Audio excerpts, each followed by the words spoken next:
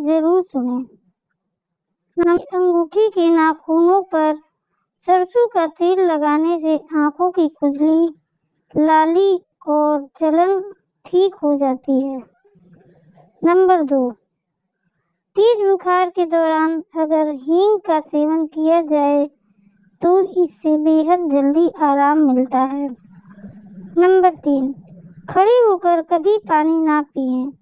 क्योंकि खड़े होकर पानी पीने से घुटने कमज़ोर होते हैं। नंबर चार, अगर आप सुबह कॉफ़ी या चाय की बजाय एक सेब खाएँ तो इससे आप अधिक स्वस्थ रहेंगे।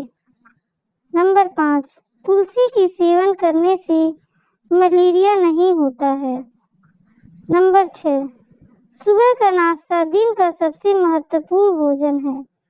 सुबह का नाश्ता छोड़ने से आपका शरीर और दिमाग दोनों कमज़ोर होते हैं। नंबर सात, मुँह से सांस लेने पर आपके जीवन, जीने की उम्र घटती है, इसलिए हमेशा नाक से सांस लें। नंबर आठ, अधिक गर्म कोई भी चीज़ पीने से कैंसर का खतरा बढ़ जाता है। नंबर नौ, सौ बार हंसना किसी साइकिल पर पंद्रह मिनट के व्यायाम के, करने के बराबर है। नंबर दस, रात के समय चावल भर पेट नहीं खाना चाहिए, क्योंकि रात को इसे पचाना मुश्किल होता है।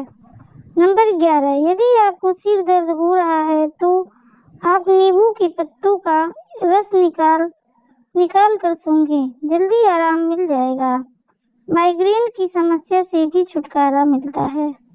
नंबर बारह, सरसों के तेल में नमक मिलाकर मा, मालिश करने से छाती में जमी हुई कफ बलगम की गांठें निकल जाती है।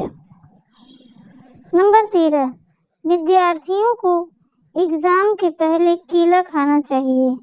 इससे उनमें एनर्जी बनी रहती है और केले में मौजूद हाई पोटेशियम उनके दिमाग को तेज बनाता है जिससे लिखने में बहुत मदद मिलती है। नंबर चौदह सर्दियों में अंडा ज़रूर खाना चाहिए, क्योंकि इसमें प्रोटीन होता है। जो शरीर में होने वाली प्रोटीन की कमी को पूरा करने के साथ हड्डियाँ मज़बूत करेगा। नंबर पंद्रह। एसी में सोने से मोटापा बढ़ता है। जितना हो सके प्राकृतिक वातावरण और मौसम के हिसाब से खुद को ढालने की कोशिश करें। आपको हमारी यह वीडियो अच्छी लगी हो तो वीडियो को लाइक, शेयर और चैनल को सब्सक्राइब ज़रूर करें। धन्यवाद।